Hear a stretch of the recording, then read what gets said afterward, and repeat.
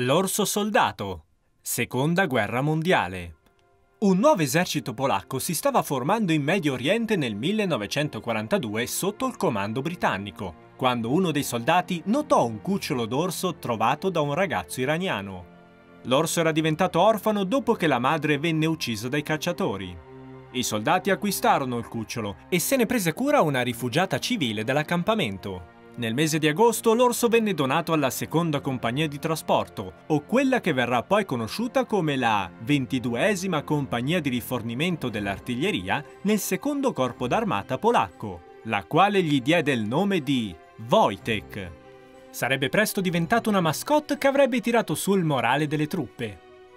I soldati gli davano latte da una bottiglia di vodka, della frutta, miele e della birra come ricompensa. Wojtek amava anche le sigarette che fumava e mangiava, oltre a piacergli lottare con gli altri soldati. E faceva anche il saluto militare. Quando l'esercito polacco stava per lasciare l'Egitto per entrare in Italia nel 1943, ci fu un problema con Wojtek, perché essendo un animale non avrebbe potuto accompagnare i soldati durante i combattimenti. Per ovviare il problema, l'orso venne ufficialmente redatto nell'esercito polacco come soldato semplice, ricevendo lo statino e il numero di matricola.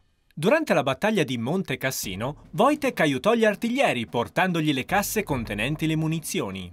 Uno dei suoi assistenti, Eric Zaharevich, dovette lasciare l'orso da solo per un giorno per individuare i bersagli. Wojtek venne così incatenato vicino ai soldati che sparavano ai nemici e iniziò a imitare quello che facevano. Raccoglieva le casse contenenti le munizioni e le portava vicino ai cannoni.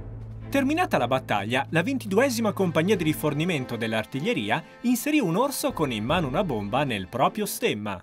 Quando la guerra si concluse nel maggio del 1945, Wojtek e il 22 comando vennero trasferiti nel campo di Winfield, nei pressi di Berwickshire, in Scozia.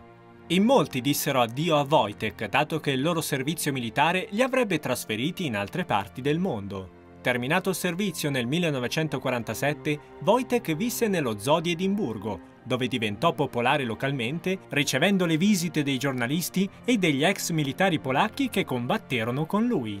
Morì nel 1963 all'età di 21 anni. Dai un'occhiata agli altri video e iscriviti a Storici subito. La storia non è mai stata così semplice.